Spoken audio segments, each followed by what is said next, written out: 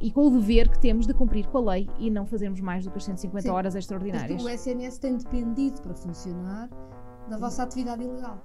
Exatamente. É isso. vocês do nosso, trabalharem ilegalmente, não fazerem o descanso que deviam fazer e, portanto, não cumprirem. à custa de milhões e milhões e milhões de horas extraordinárias.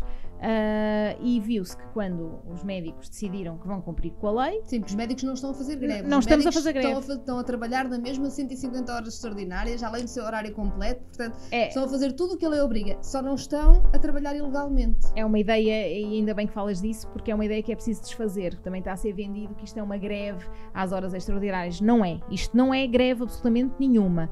Isto o que é é que os médicos fazem o seu horário das 40 horas ou do horário que tiverem, mais as horas extraordinárias todas que têm que são obrigados a fazer por lei, e o que dizem é que não fazem mais para além do que a lei do que a lei prevê. E é isso que nós estamos aqui a, a pedir, é reposição, portanto, reposição, reposição, reposição, reposição.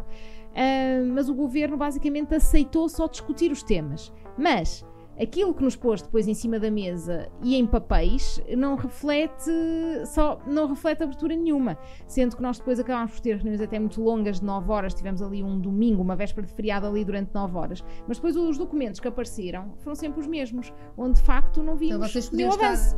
estar 9 horas a negociar e assim o documento era igual. E o documento é igual, isso aconteceu.